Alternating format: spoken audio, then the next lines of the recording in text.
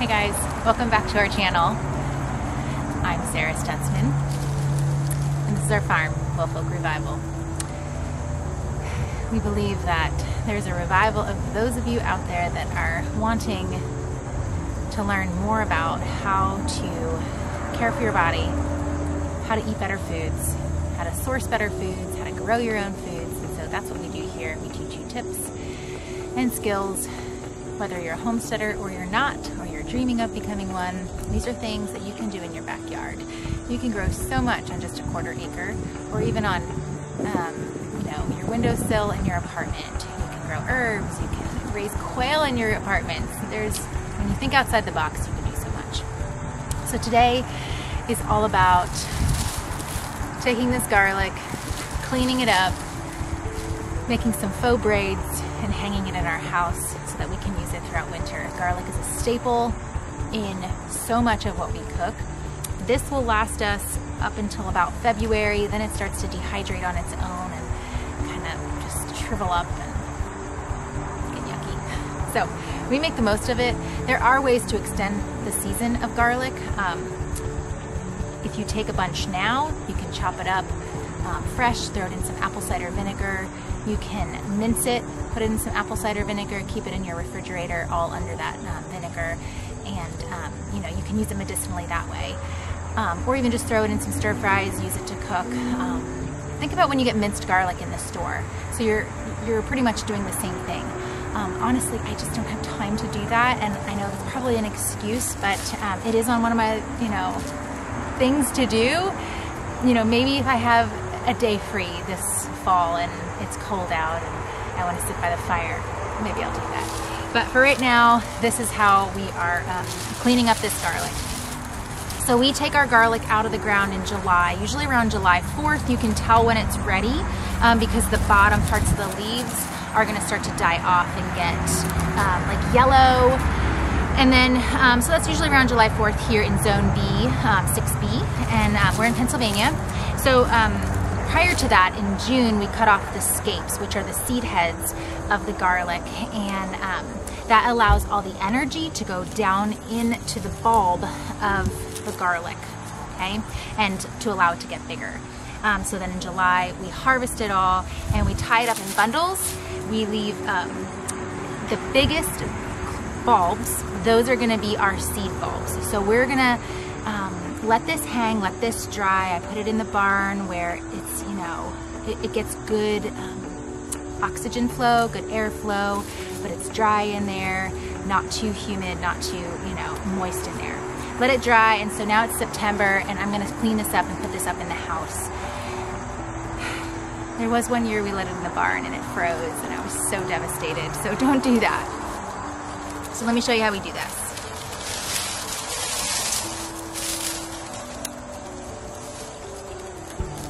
So you want to make sure that you clip that beard off, all those roots. And then I leave a really long stem.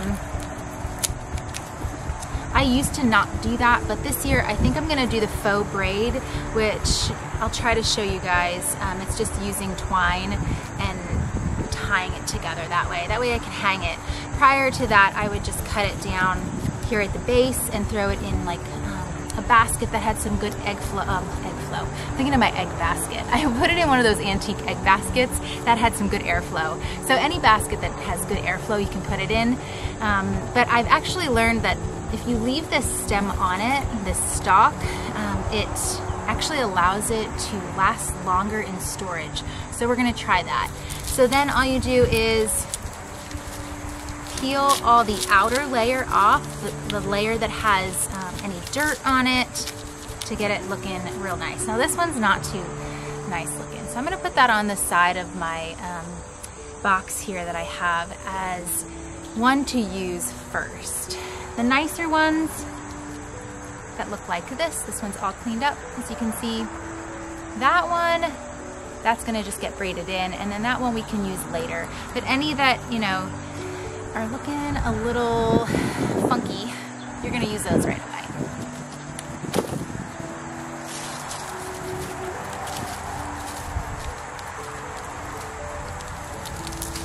Garlic is one of those things that I love growing. It's so easy. So we will pull our sweet potatoes out probably the beginning of October. We'll look at the long range forecast. If it's gonna be warm, we'll pull our sweet potatoes out in August, um, in October. And then we're gonna let them cure. And in that spot where we dug the sweet potatoes out is normally where we will plant the garlic because it's so soft, the soil is so soft and so rich um, and aerated and we'll plant the garlic in there. So all you do is take all those cloves apart, you leave the skin on them and you just put them in the ground, cover them up and tuck them into bed and they will start shooting up a little bit. You'll start to see some green little stems come up. Um, and then it'll frost, it'll get cold, it'll snow, and they'll all be tucked underneath that ground. And sometimes we'll actually mulch it too. We'll put some wood chips on or some dried manure on there and just tuck them away. And then they start growing in spring and they will grow and grow and grow, like I said, until June where you will take the scapes off. And those scapes we use, I freeze them, I use them in soups and stews and bone broth, and I make um, a garlic scape pesto with them. So don't throw those away. Those are um, a valuable thing that you can use um, for you know more food, more food dishes for culinary purposes. Um, but then in July you harvest. So it's the easiest crop to grow and it's one that adds so much flavor to our meals here on the homestead. I wanna know, do you guys, in the comments, do you guys grow garlic? Um, there are so many different varieties. We, oh my word, we don't even know what variety this is. We've just continued to plant and replant um, our bulbs from each year. We save some seed and we, we just plant it every year. We just, you know, do that. But there is a local woman here in, um, in our area that specializes in all kinds of garlic and um, she knows all the varieties and she actually taught a folk school for me here and it's just incredible because um, of the varieties and there's so many that are better storage varieties. Um, I will tell you this, we grow a hardneck. So hardneck is um, this stem here, this stalk is hard, it's firm, and that is a better storage garlic, whereas softneck is not. And so if you are looking to store garlic, make sure you get a hardneck variety and don't go to the store and just buy garlic to plant it because the majority of garlic that you see in the grocery store is from China. And then coming, anything that comes in overseas goes through a radiation process. So it most likely won't grow. And if it does, you know, you want to start with a really good seed. So there are so many farmers now, you know, source them out, ask, just ask. And that's that's how you find gold mines sometimes. So ask around. There are farmers that are starting to grow garlic, like my friend um, Sharon here in Pennsylvania, who grows it, and that is that's what she does. She's a garlic farmer, and she will sell it. She will um, sell it for growing. She will sell it for you know eating purposes. She ships it. I'll put her information down here um, down below, so you can get in touch with her and see if she will ship it to your region. Because I know now in October people are seeking it out to grow it. So um, seek out farmers in your area that um, know a lot more about garlic. I know we just love to grow it and um, use it in our own home cooking.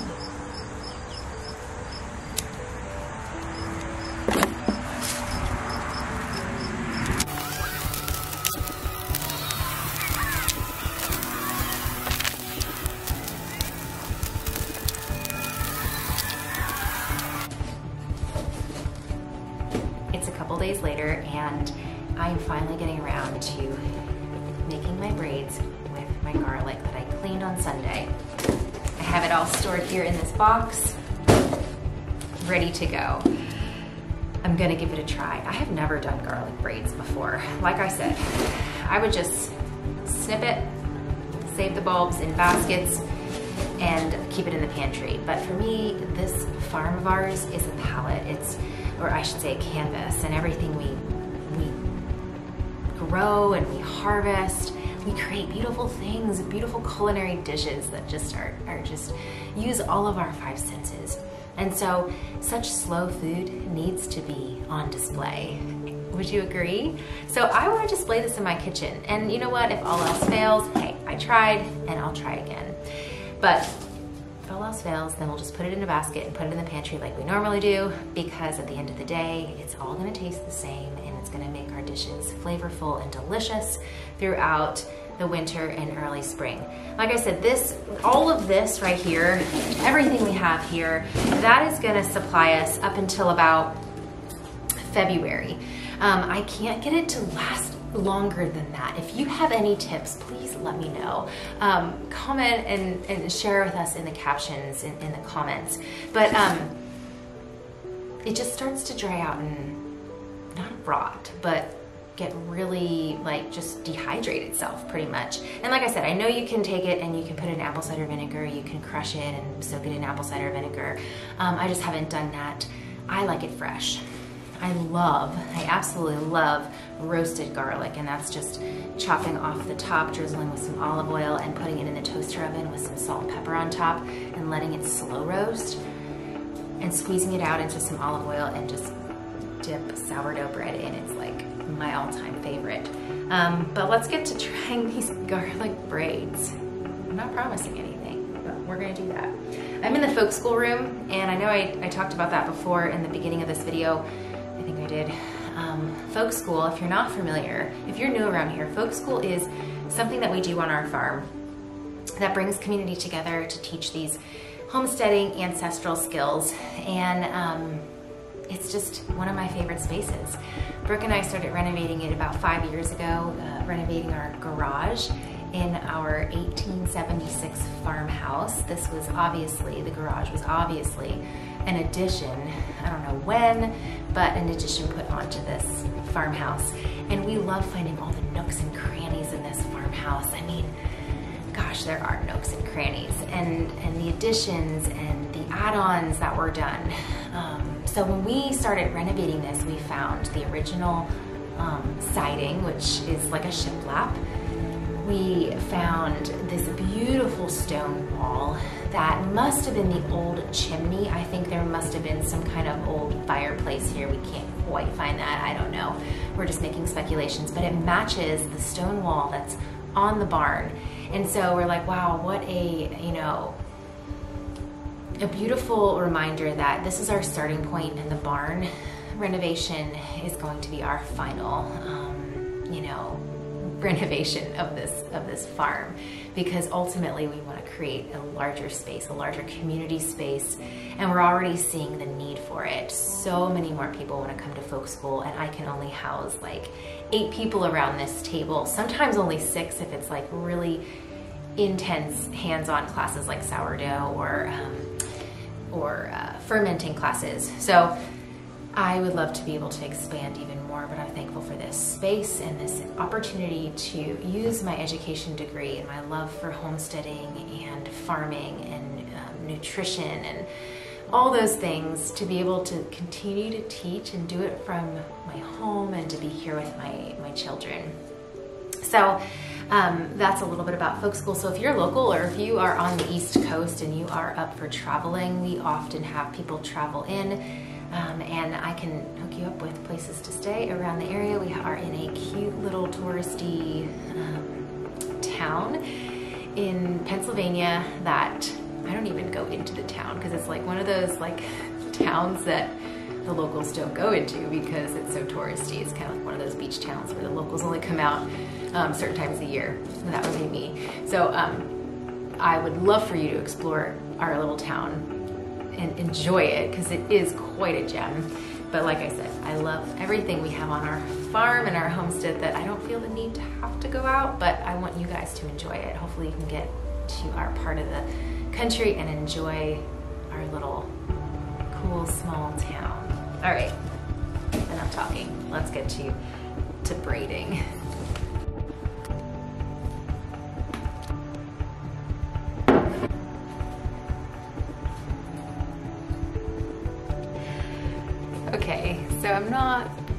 Totally giving up, but I definitely need more practice at braiding garlic. This one's a little sad. It's kind of falling apart. The stalks are going every which way. I need a little help on that. What I think I'm gonna do, the easiest method, are the bundles. Just a few at a time, get them real tight, bundle them with um, some twine, And I think I'm gonna do a few of these just for the kitchen for pretty. And then the rest of them, because remember, time is also of the essence. As much as I love the artistic flair of braided garlic and bundles hanging in my kitchen, I also have to remind myself that there's a lot that needs to be done on the homestead yet. So in a pretty basket in the pantry, that's where it's gonna go. I have hooks in my pantry that I will hang this basket on so it gets good airflow and we will utilize this all winter long. And like I said, at the end of the day, it all tastes the same, makes us happy campers. I just have to release that inner creativity um, and just maybe keep practicing. All right, guys, thanks for watching. I hope you enjoyed this episode. We'll see you back. Well, I can't promise. Hopefully next week. Bye, guys.